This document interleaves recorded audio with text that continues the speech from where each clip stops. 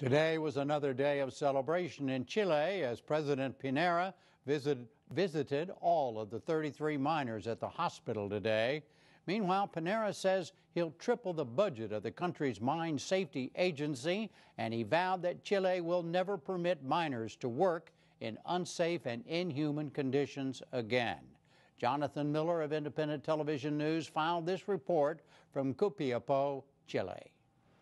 Grainy cave cam captures the moment at 9.46 p.m. that shift leader Luis Urzua hugs his rescuers below and climbs into the cramped escape pod to begin his half-mile 11-minute journey back to the world above and back to life.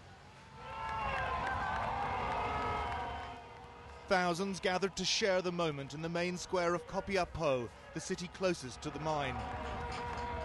Then, at 3 minutes to 10 exactly, ecstatic expectation explodes into sheer exuberance. National catharsis in this outpouring of relief, of pride and delight.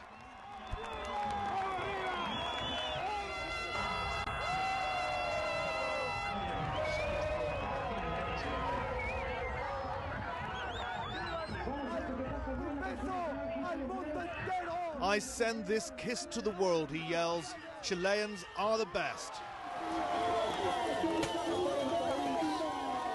Up at the mine at Campamento Esperanza, Camp Hope, for 10 weeks home to the relatives of miners, confetti flew and champagne sprayed. The ultimate endurance epic over, the extraction operation flawless, and the 33 men once presumed dead, now resurrected. 54 year old Luis Urzua had demonstrated powerful leadership abilities through this ordeal, calming his men for 17 days lost in blackness, enforcing rules and rationing their few small tins of tuna.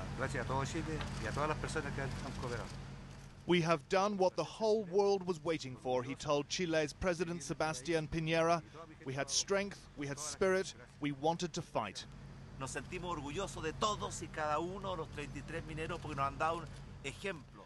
You have been relieved, coming out last like a good captain, the president told him. You have no idea how all Chileans shared your anguish, your hope, your joy. The whole world shared that anguish, hope, and joy in this meticulously choreographed, made for TV drama in real life spectacular. 27 year old Ricardo Villarroel was the 28th miner to emerge from the capsule. His wife is due to give birth to their first child within the next few days. He'd been deep in the mine, working on a rock face just three meters from the collapse. While he was running away, there was a second collapse. President Piñera visited Ricardo Villarroel and his 32 fellow survivors in hospital in Copiapó this morning. They're in good shape considering. One has pneumonia and two needed urgent dental work, but most will probably leave hospital today. The popularity of President Piñera, a billionaire, has soared thanks to the successful rescue of these humble miners. For them now, a huge party, then the interviews and film and book deals. Most are unlikely to ever need to go underground again.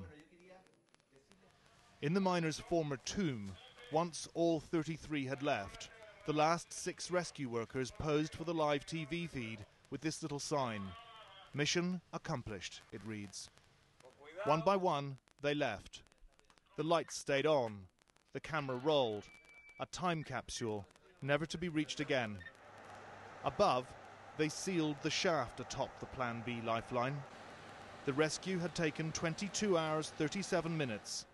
The miner's ordeal had lasted 69 days and 8 hours exactly.